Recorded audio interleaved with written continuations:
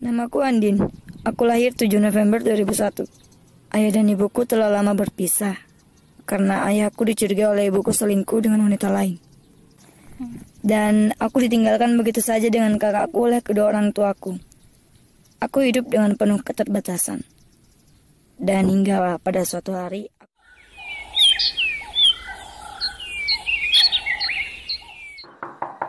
Andin, Andin, jam 8 nih, udah sekolah kok kak? Astaga, jam 8 balik. Mati mak, guru killer like udah apa? Dapat tadi, tidak bisa-bisa ini. Kak, pamit kak. Kenapa kau terlambat? Ah, anu, terlambat kak bangun.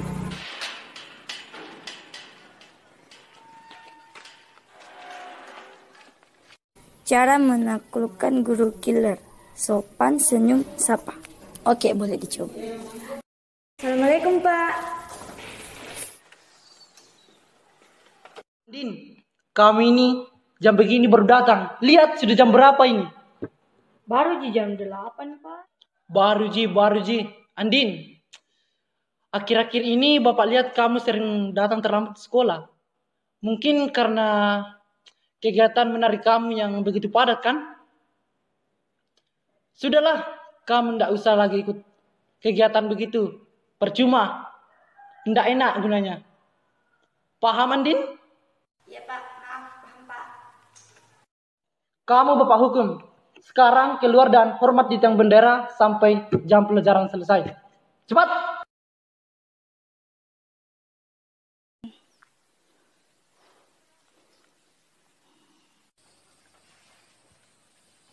Assalamualaikum.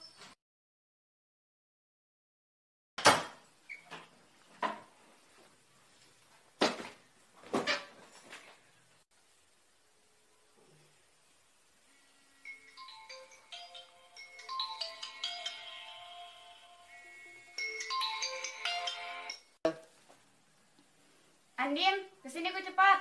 Mau bikin mulai latihan menari. Oh, oke oke.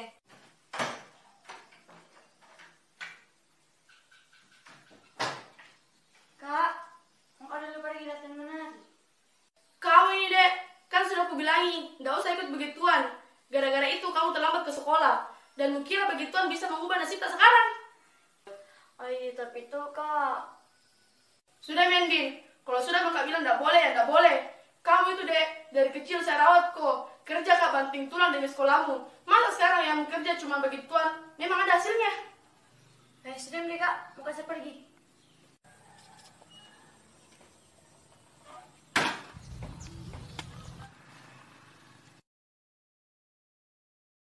Kenapa kau Andin?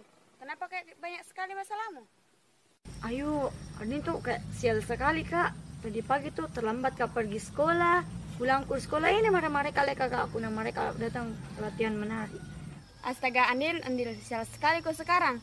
Lupakan nih, anggap nih semua sebagai pelajaran. Mending latihan menari Ki, supaya lebih semangat kau. Hmm, Oke, Pak. Ayo, Pak, latihan.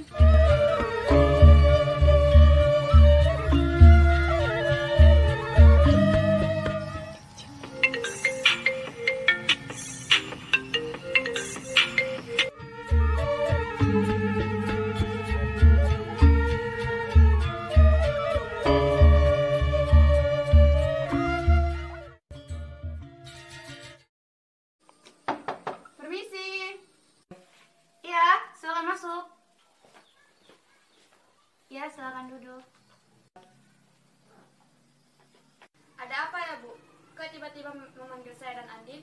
Jadi begini, tujuan saya manggil kalian itu untuk mengajak kalian ke Bali untuk melestarikan pena- menampilkan tarian daerah kita masing-masing atau tarian daerah kita. Bagaimana apa kalian siap? Oke, kami siap Bu.